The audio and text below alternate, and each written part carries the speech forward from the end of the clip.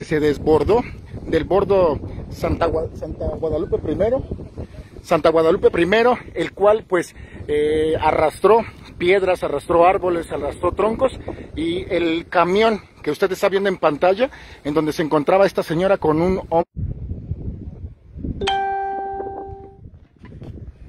Unas disculpas a todos nuestros seguidores. Eh, la señal en esta parte de esta comunidad en Huimilpan es un poco débil, lo que hace que, pues bueno, tengamos este tipo de problemas. Les comentaba, eh, trabajadores de un banco de arena sobre la carretera estatal 430 localizaron durante la mañana de hoy el cuerpo sin vida de una mujer de la tercera edad, una mujer identificada como Victoria N de 64 años.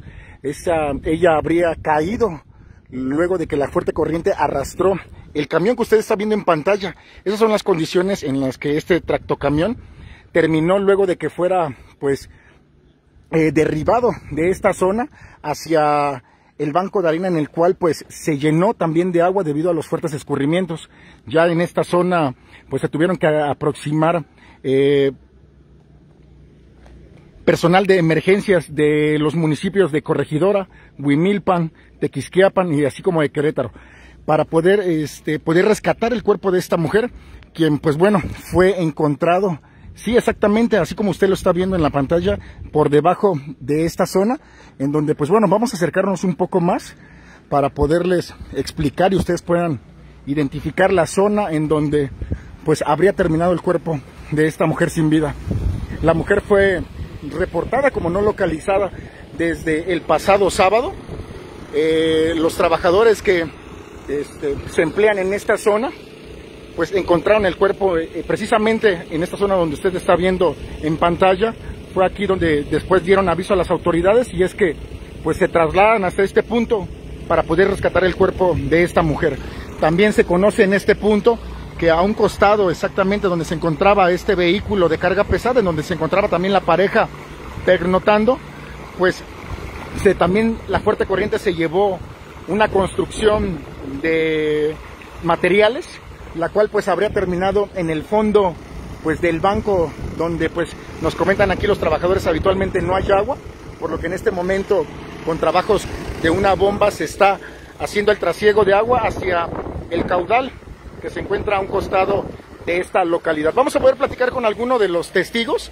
Esperemos que este, nos puedan querer narrar cuál es la situación en la que pues, se vivió precisamente en este punto. Muy buenas tardes. ¿Nos podrían comentar cómo, cómo fue lo que, lo que ocurrió?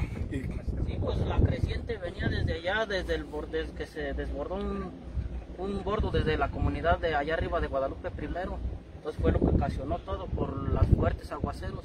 Entonces no dio basto el río y desde ahí de esa parte para acá, pues entonces de allí desbordó para acá el agua y fue cuando se trajo el camión con pipa trailer y la señora estaba ahí entre el trailer y entonces cayó hacia el hoyo de Tepetate.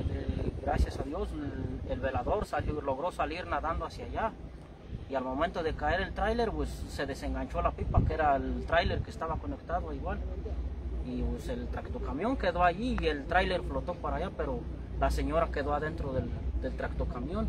Ahorita que se bajó el nivel del agua ya se pudo distinguir. Eh, no, lo o... sacamos ayer con grúa. ¿Ustedes lo sacaron ayer? Con una grúa se, eh, se, trajo una grúa de, de pluma y, y, se sacó ayer el tractocamión. Y ya pues el, yo creo el, el cuerpo estaba atorado y y ya hoy lo, lo encontraron los buzos o no okay. sé quiénes serían allá de aquel lado, de aquella parte. Lo encontraron que ya flotó el cuerpo de la señora y ya, pues, ya la familia. Ya ¿Era, ¿Era oriente de esta zona la señora? Sí, era de aquí atrás, de vecina de la comunidad de aquí del Bimbalete. Bimbalete. Ok, pues muchísimas gracias. Pues bueno, allí están las palabras de un trabajador de este banco de Tepetate, aquí en esta zona de Huimilpan, en donde pues el camión que usted está viendo aquí en pantalla, ese camión así terminó y es donde se encontraba la pareja pues este pasando la noche, luego de una del fin, del fin de semana, el sábado exactamente, este, la fuerte tormenta que azotó gran parte de los municipios de Corregidora, El Marqués, así como Querétaro, y pues bueno, esta fue una de las repercusiones. Eh, aparentemente se habría desbordado el bordo conocido como eh, Guadalajara.